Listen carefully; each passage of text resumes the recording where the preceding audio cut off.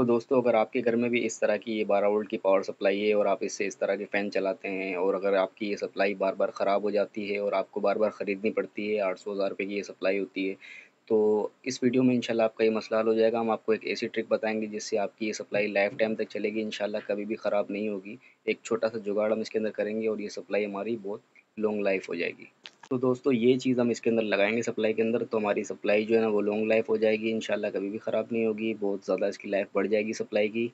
तो दोस्तों, सबसे पहले इसको हम खोल लेंगे हमारी सप्लाई को, और इसके अंदर देखें, इस तरह का ये स्टील का कवर लगा होता है। तो इस कवर के ऊपर हम ये ओवर हीट कंट्रोलर जो है ना, ये लगा देंगे इसके ऊपर। तो हमारी सप्लाई जैसे गर्म होगी तो ये इसको ट्रिप कर देगा और सप्लाई को बंद कर देगा, इसकी आउटपुट रोक देगा। और फिर जैसे ही हमारी सप्लाई ठंडी होगी तो फिर ये इसकी आउटपुट ऑन कर देगा। तो दोस्तों, अक्सर हमारी जो सप्लाई है वो ज़्यादा गर्म होने की वजह से ही ख़राब होती है। बाकी तो उसके अंदर पार्ट्स अच्छे लगे होते हैं, बाहर की सप्लाइयाँ होती है, लेकिन ये ज़्यादा गर्म होने की वजह से ही ख़राब होती है। तो हम जो चीज़ के अंदर लगाएँगे, इंशाल्लाह ये हमारी सप्लाई जैसी थोड़ी सी गर्म होगी तो ये ऑटोमेटिक इसको बंद कर देगा। अब इसको लगाने का तरीका आप देख लें तो फ़ैन का ये देखें, हमने प्लस माइनस लगा दिया। अब एक जो तार है ना, इसके बीच में आप इसको लगा दें। इस तरीके से आपको सिर्फ़ खाली इसको बीच में जोड़ना है और इसमें प्लस माइनस का कोई चक्कर नहीं होता, आप इसको घुमा के भी लगा सकते हैं। तो एक तार हम फ़ैन के वायर में लगा देंगे और दूसरी जो है ना वो पावर सप्लाई का जो आउटपुट है वहाँ पर हम लगा देंगे। तो ये देखें फ़ैन हमारा ऑन हो चुका है।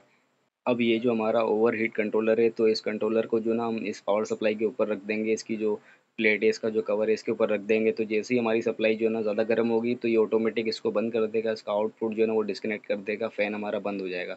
लेकिन दोस्तों, हम अगर पावर सप्लाई के गर्म होने का वेट करेंगे तो ये वीडियो काफ़ी लंबी हो जाएगी, इसलिए हम इस ओवर हीट कंट्रोलर को थोड़ी सी हीट दे के आपको चेक कराते हैं कि ये हीट से किस तरीके से काम करता है।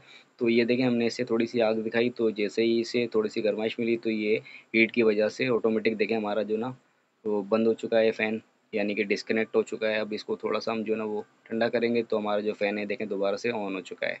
तो इस तरीके से ये काम करता है। अब इसको आपको इसके अंदर अटैच करना है। तो दोस्तों, इस कंट्रोलर को लगाने के लिए हमारी पावर सप्लाई के अंदर में जो दो तार नेगेटिव पॉजिटिव किसी भी तार के अंदर इस कंट्रोलर का एक तार लगा दें और इस कंट्रोलर को इसके बॉक्स के अंदर रख के इसको हम पावर सप्लाई को बंद कर देंगे। और अब जो दो तार हैं, ये हमारे नेगेटिव पॉजिटिव तार हैं। तो यहाँ से हम फ़ैन अपना चला सकते हैं और जैसे ही हमारा जो है ना पावर सप्लाई गर्म होगी तो ऑटोमेटिक ये पावर सप्लाई को ट्रिप कर देगा, बंद कर देगा, इसकी आउटपुट रोक देगा। तो उम्मीद है दोस्तों, वीडियो आपकी समझ में आ गई होगी। अगर किसी भी तरह का कन्फ्यूज़न हो तो आप मुझसे कमेंट में पूछ सकते हैं। वीडियो अच्छी लगी तो वीडियो को लाइक कर दीजिएगा। चैनल अगर आपने सब्सक्राइब नहीं किया तो सब्सक्राइब लाजमी कर लीजिएगा।